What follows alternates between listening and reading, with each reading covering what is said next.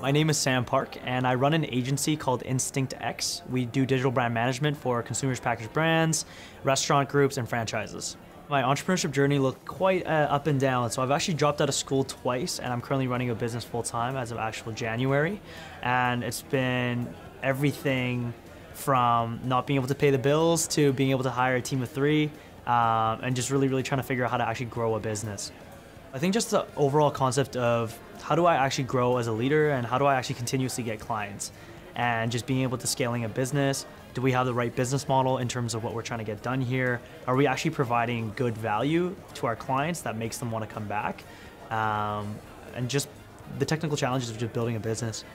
There were a lot of projects where we lost a lot of money um, but there's also projects that where we actually made some profit, and just it was a really fine-tuning balance of trying out different business strategies, different services that we offered, what was profitable in terms of the amount of time spent and the amount of time um, that we allocated to a specific service or a client, um, and then just learning, you know, how much money did we make from that client, or how much money did we lose from that client.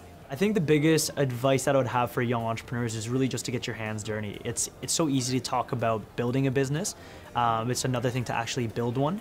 And so the number one thing that I think a lot of young entrepreneurship should focus on is how to actually get paid for what you do.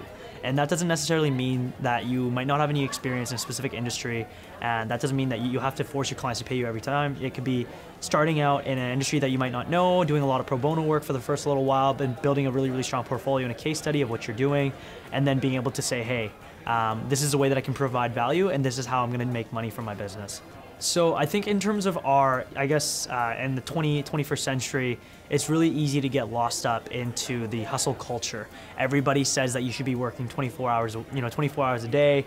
Um, it's all about the grind. It's all about the hustle. But I think a lot of young entrepreneurs forget that rest is actually the most important part about being an entrepreneur. You have to learn how to rest if you're going to sustain your business, and also be responsible for people on your team. And I think we often get it wrong as young and ambitious individuals that we think that we just have to work 24 7. Um, it's finding that correct balance between working sustainably and being able to take care of yourself and others at the same time.